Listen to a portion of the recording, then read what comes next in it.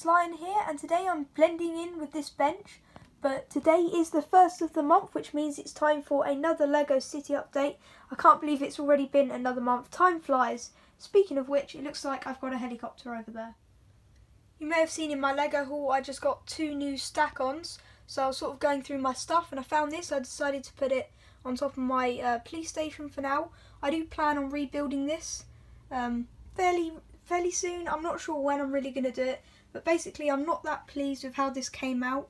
And um, it was pretty well received, but it wasn't as well received as the last one, just because I feel like this one's a bit boring, it's a bit flat, a bit of a box, and um, it kind of feels too big, especially for its height. So I think what I'm going to do is I'm going to cut off a 16 base plate size and then put that on top and um, obviously change the whole design as well. But yeah, that's hopefully going to get changed up soon, which will mean that this 48 stud gap over here will eventually be two base plates and that means I'll be adding some new modulars over in this area. But this thing over here has completely fallen apart. Um, yeah, over in this area I've also got a dude over here and he is just exploring the only wild area of my city at the moment.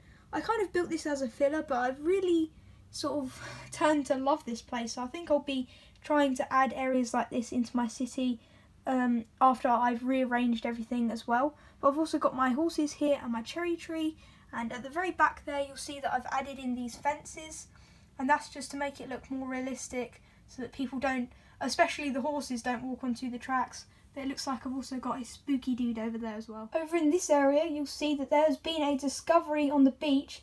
It looks like some crazy brain dude here has washed up ashore and um, it's a very hot subject in my city at the moment. Not many things happen. So I've got a super quarantine guy, some police officers and my detective over here checking out what's going on. And if you see just behind him, I've actually added a couple of little rocks. I figured that was a really good idea and also maybe extending out sort of bottoms of the cliff to sort of reach out a bit and then have a bit of rocks around them kind of look more realistic because you get that on beaches, you know, you do get pebbles. Um, but when I do redo this area, I'll definitely consider that. In the last update, I did say that I was going to hopefully try and work on the base of this, get the tunnel finished and all sorts of stuff along with the post office over there that I'm going to rebuild uh, because it's horrible. but I didn't get to doing that. I haven't bought anything lately except for that stack on. I'm kind of holding back on that, just trying to figure out what I actually want to build because I originally had a design for that and then I thought about buying the parts for it and it kind of ended up being too expensive so I was just sort of thinking about other designs and I found one that I think I'm going to do. So yeah, at the moment I'm just holding back. I could just buy the pieces for that tunnel and finish that. Same with sort of the base for this. But I kind of want to buy it all at the same time so that it's cheaper and you don't have to pay for loads of deliveries.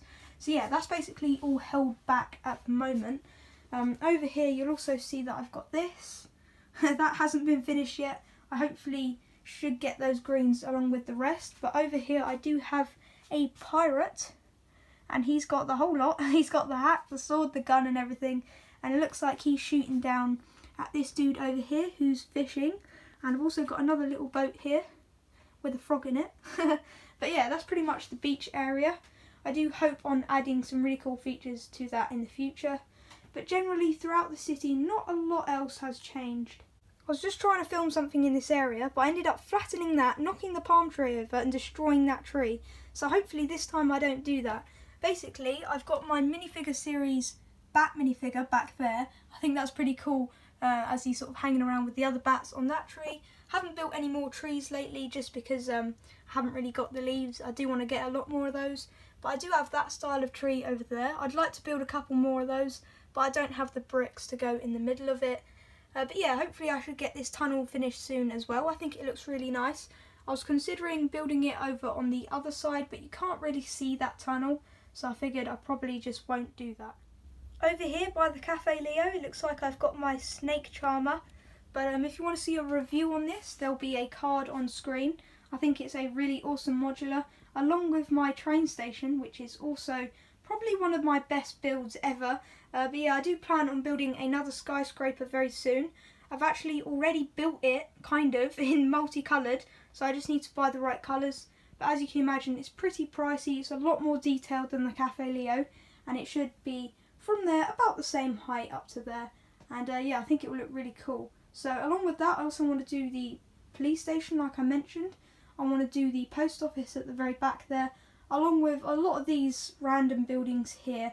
I kind of want to rebuild some of those into some custom MOCs that look a lot better. But that's pretty much it for this update. I haven't got a lot of changes because I've been making lots of other different videos. You may have seen my top 10 building ideas, so I've been coming up with lots of ideas for those. And then I've also got custom motorbikes and stuff that I've made. And speaking of which, recently I have made another motorbike, and here it is. It's a really nice motorbike, and I wanted to put this into the city, but I was like, where on earth can I put it? I looked around for a while, and I kind of noticed that there's no really parking spaces at all. I don't want to build one of those big car park blocks, but I figured maybe in an area over there it'd be a good place to actually put some car parks. But yeah, that's basically my thoughts for this city for now. Now I'm going to go ahead and show you the train, the monorail and the Ferris wheel running and that'll pretty much wrap up today's video. So thanks for watching and I'll see you next time.